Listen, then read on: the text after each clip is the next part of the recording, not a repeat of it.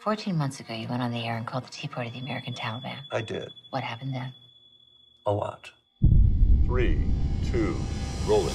Good evening, I'm Will McAvoy, and this is Newsnight. We're going to be officially condemned on the House floor tomorrow. That's a good use of time. It Seems like when we called them the American Taliban, they minded. When he said it, I thought, let the chips fall where they may. You know what I'm thinking now? I don't. Chips are falling. I believe America is on the verge of starting its own Arab Spring. What was it called again? Occupy Wall Street. I got a 13 day streak going of being a good boyfriend. What do you get if you hit two weeks? A healthy conscience. I'll go. Where? New Hampshire. I just want to get out of town for a couple of weeks. You remember Nina Howard? I definitely remember Nina Howard. Am I about to be murdered?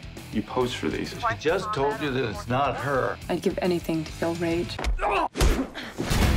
Will, this is Jerry Dantana. We've met. Of course we have. I'm going to give you a story. What kind of story? The kind that makes careers and ends presidencies. You're talking about a massive war crime. You can't possibly believe this story. It was the biggest thing any of us had ever touched. People are mad at him, Charlie. I want to know who leaked the story. It wasn't an oversight, it was deliberate. You weren't trying to see justice done? Neil was arrested. We don't have the trust of the public anymore. No one responsible for the broadcast will ever work again.